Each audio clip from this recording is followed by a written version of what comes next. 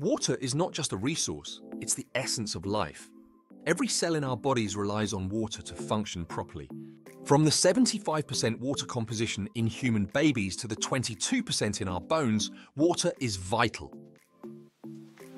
Imagine a day without air or a week without water. It seems almost unthinkable, yet that's how long humans can survive without them. This shows just how crucial these resources are, with water being central not only for drinking, but also for oxygen and food production through photosynthesis. On Earth, known as the water planet, water defines our landscape. 70% of our surface is oceans, and at any moment, half of it is covered by clouds, which are also made of water. Yet despite its abundance, accessible fresh water is a rarity.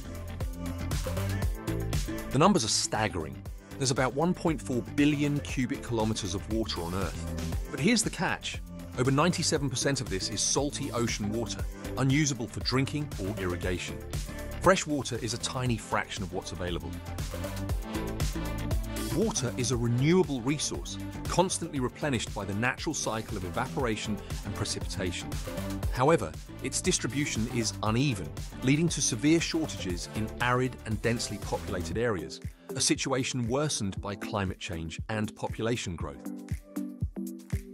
The impact of human activity on water resources is profound, Overuse and pollution have exacerbated a water crisis, leaving hundreds of millions without access to safe drinking water. This crisis contributes to nearly 2 million deaths annually from water-related diseases. These statistics aren't just numbers, they represent real people.